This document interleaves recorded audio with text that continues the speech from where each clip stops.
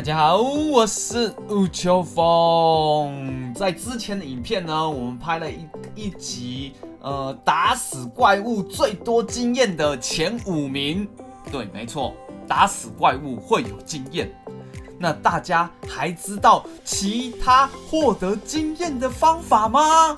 今天秋风一口气全部告诉你。打怪有经验，我们就不说了嘛。第二个获得经验的方法就是挖矿，只要挖这种掉落物是物品类型的，不是方块类型的，我们就可以挖出经验，像是煤炭啊、红石啊、青金石啊。那铁矿呢就不行了，然后还有钻石、绿宝石都可以。这边特别要讲的就是生怪箱。挖了也有经验哦，呃，地狱石英也是有的啊，挖出来不是块状的，像这个，这个就是块状的嘛，有没有块状的？这个就没经验。当然，你说铁矿真的没有经验吗？不是，它拿去烧就有经验了，放到熔炉里面烧烧烧，这一个铁矿就可以产生经验。当你烧出来的铁锭拿出来的瞬间，它就会有经验值。喷飞到你的身上，其实烧蛮多东西都有经验的，像烧铁矿、金矿啊，任何的矿物其实烧了都有经验。然后烧粘土、烧食物、烧仙人掌，还有什么烧海绵、木头，还有什么 烧一些装备，对，烧完都有都有经验。第四个可以产生经验的方法呢，就是繁殖了，让动物们交配。生出小动物的时候，就会顺便顺便生一些经验出来哈。第五种产生经验的方法呢，就是钓鱼。钓鱼呢也会有微量的经验，哎，钓到了。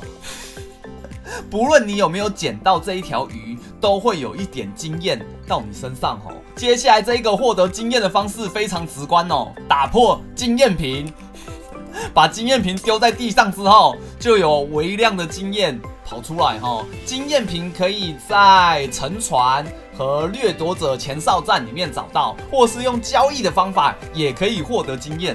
说到交易，没错，村民交易也是直接会有经验的哦。接着我们来讲一个比较少人知道的获得经验的方法，叫做完成挑战进度。什么叫挑战进度？这个叫做普通进度。那我们的挑战进度呢，就是这种。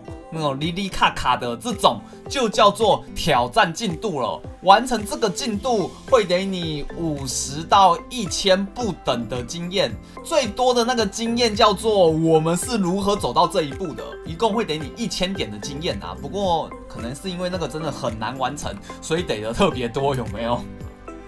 像是以牙还牙这一种比较简单的，就是五十点。接着秋风讲一个更少人知道的经验获得方法哦，叫做修复移除附魔。对你把原本有附魔的东西移除掉附魔，也会有一点点经验。我觉得这个移除附魔能获得经验。应该比刚刚的挑战进度更少人知道吧？秋风讲到这边呢，就是正常生存下能获得经验的方法啦。当然不正常的还有打指令啊，或是叫你的朋友给你经验啊。其他杂七杂八的我就不讲了，好不好？